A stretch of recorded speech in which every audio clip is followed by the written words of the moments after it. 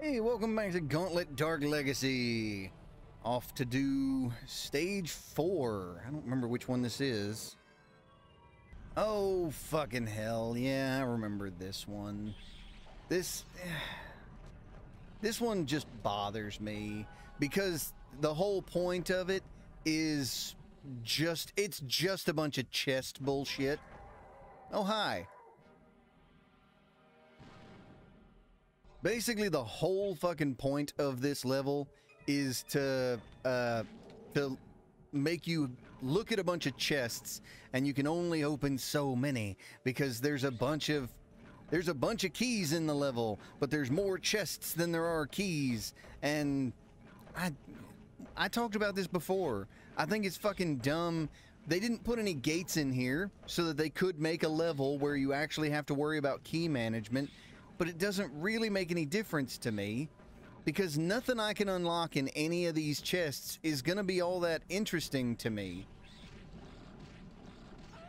And I tell you what I may do though. I've got x-ray glasses. I don't know if that adds on to the time or not, but it doesn't really matter because in this game, uh, I can turn them on and turn them off. So I might, at some point, maybe I'll finish the whole damn level and then I'll come back through and open any chests that I find extremely, extremely interesting. But I don't know if I'm going to do that either. Feels like that might take me a lot of time for something that I don't know is worth it all that much. But there are actually... Okay, just fucking set myself on fire there. There are actually uh, some chests in here with like a few hundred gold and that sort of thing. So, with a few hundred gold just kind of lying around, that might be pretty useful to me. I'm mostly saving up my money because I'm I'm just wanting to use it on food and keys if I need them, and potions if I need them, and I hadn't been too concerned with it to this point because I've got a few thousand. Not like that's gonna change drastically. I'm still gonna have quite a bit of money. But uh, if I have a lot more money, then in the inevitable occurrence that I end up fucking hurting myself a lot and losing all of my keys and then going into a level that really necessitates one or the other of those, I'll have something to my name before I go there. I tell you, I'm almost certainly gonna fucking fight that dragon a million times. I might do that. Oh no, I was gonna wait. Completely fucking forgot on that one. I gotta wait and fight all of the bad guys last. Yeah.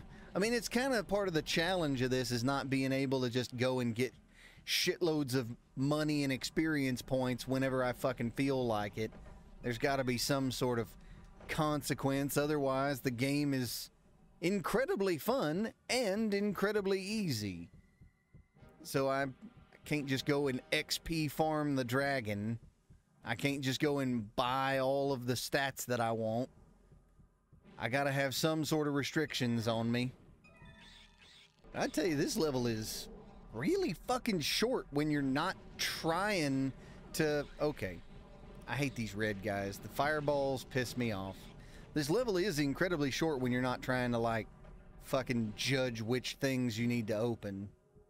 Just running through and ignoring all the chests is not what they fucking planned for. Hey, level 20. There are enough keys to open all the good chests. Yes. That is that is your little dumbass fucking trick that I don't care for.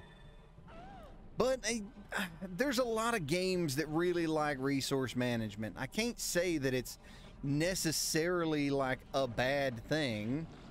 I don't dislike it. In fact, I really like the store system that they have of having to get a bunch of money and everything throughout the levels and going back and farming for money and everything else. I I like that style.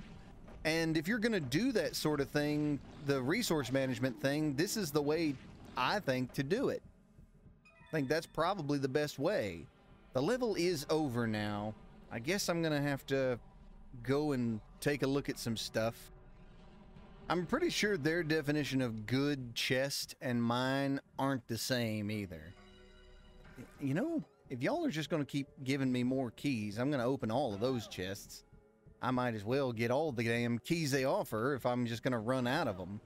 Good chest to me doesn't mean a fucking cherry or an apple or whatever the. You know what? I'll take potions. If they're going to offer me fruit, that's great, but that's not really a good chest to me. It's just not a bomb or poison fruit. There was enough for all the good chests, but then there's chests like that fucking reflective shield there and some angel wings and some other stuff that they think are good that I don't particularly care about. And I have all of the keys that I need, and I didn't have to open any of your stupid neutral chests that aren't very good. I'm out of here.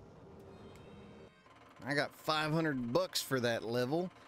I didn't get all that much experience, but that I'm fine with having gotten up to level 20. That's good for me. All right. Got up to level 20. So I'm a conjurer. And I, you know, I didn't see the change actually happen, but I can tell the difference on this one. At least some things, not all the differences, but I can tell some of them. I guess next time, see, that was the cave, and this is the cavern dumb naming convention, but whatever. So next time I move on to that, and that'll be the last one in the Mountain Kingdom until I have to come back and fight the dragon. So I hope you enjoyed this one. I hope you come back for the next one. I'll see y'all later. Bye.